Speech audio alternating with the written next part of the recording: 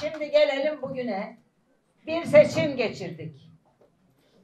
O seçimin sonuçlarıyla ilgili olarak suçlandık da suçlandık kabulümdür. Keşke her şeyin sorumlusu, hataların, eksiklerin sorumlusu bu gariban olsun. Olmadığı zaman demek ki her şey iyi olur anlaşılır. Ama öyle bir durum yok. Bunun sorumlusu hep beraber hepimiziz. O masada oturan altı kişi ve altı kişinin temsil ettiği her bir kişidir. Dolayısıyla ben sorumluluğumu partim adına kabul ediyorum. Ama ve lakin asla kabul etmediğim bir şey var. İyi Partililer çalışmadı. Koskocaman kuyruklu bir yalandır bu. Bravo. İyi Partililer Parti'ye, İyi Parti'ye oy vermeyi düşünenlerin önemli bir kısmı kızdı, gitti.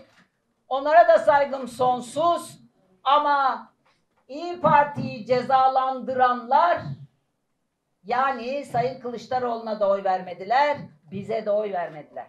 Biz de ceza gördük.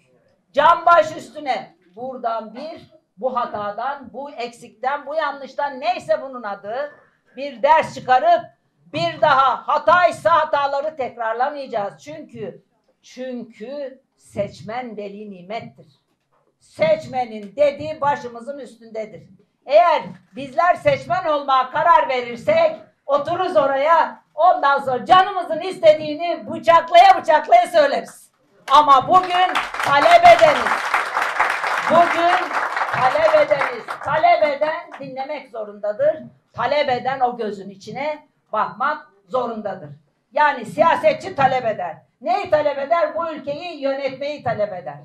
Hangi yoldan talep eder? Sizin helal oylarınızla talep eder. Şimdi dolayısıyla yüzde 9.67 oy aldık.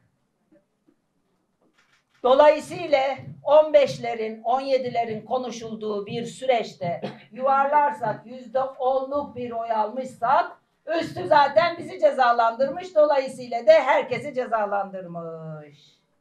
Ama toplayın bize verilen oyla Sayın Kılıçdaroğlu'nun aldığı oyu ve diğer siyasi partilerin CHP'nin aldığı oyu toplayın işte bizim partimize oy verenlerin, partililerimizin, seçmenimizin Sayın Kılıçdaroğlu'na gerçekten samimiyetle çalıştığını gösterir. Dolayısıyla bana canlarının istediğini söylüyorlar. Ben siyasetçiyim, talep edenim. Ona saygı duymaya gayret ediyorum. Ama partililerime, arkadaşlarıma saygısızlık edeni çarparım. Hem de nasıl çarparım biliyor musunuz? Yüzünü yere yapıştırırım.